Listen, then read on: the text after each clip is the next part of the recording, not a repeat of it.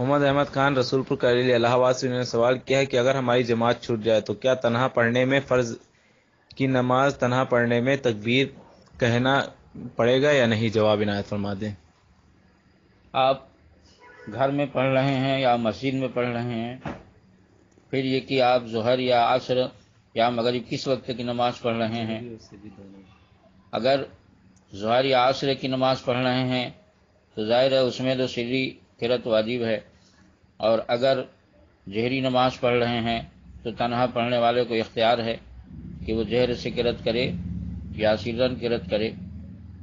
अगर घर में आप पढ़ रहे हैं तो तकबीर कहना पड़ेगा। अगर मस्जिद में पढ़ रहे हैं और जमात हुए दे, ज़्यादा देर नहीं हुई है तो तकबीर कहने की ज़रूरत नहीं है। और अगर देर हो गई है जमात हुए तो तकबीर कह लेना सुन्नत है।